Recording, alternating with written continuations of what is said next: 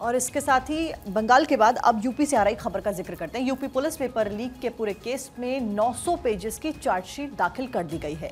इस चार्जशीट में 18 आरोपियों के खिलाफ में लिखा गया है। यूपी पुलिस भर्ती पेपर लीक के मामले में एसटीएफ ने शुक्रवार को चार्जशीट कोर्ट में पेश की और यूपी एसटीएफ की मेरठ यूनिट ने मास्टरमाइंड रवि अत्री समेत 18 आरोपियों के खिलाफ में 900 पेज की चार्जशीट फ़िलहाल दाखिल कर दी और अब आगे की जो कार्रवाई है वो इसी के आधार पर होती हुई नज़र आएगी।